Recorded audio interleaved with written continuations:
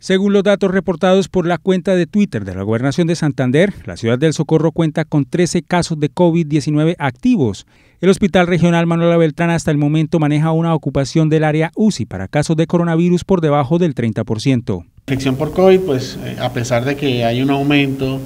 en el número de consultas de pacientes por síntomas respiratorios, eh, en la unidad de cuidado intensivo el servicio mantiene una ocupación por debajo del 30% en este momento. Eh, en este momento tenemos cuatro pacientes eh, hospitalizados en la unidad de cuidado intensivo eh, del Hospital Manuela Beltrán con soportes respiratorios correspondientes, soportes ventilatorios y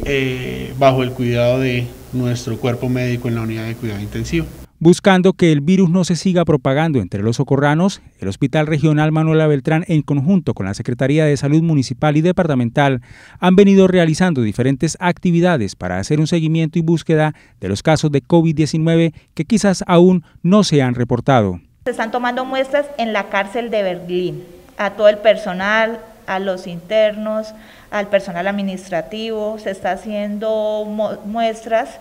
y la búsqueda activa que tenemos que tener de este virus que nos aqueja y nos agobia en nuestro municipio. Se sigue haciendo un llamado de autocuidado a toda la comunidad, pues el aislamiento inteligente, el lavado de manos constante y el uso de elementos de protección personal son las únicas armas que se tienen para combatir al coronavirus.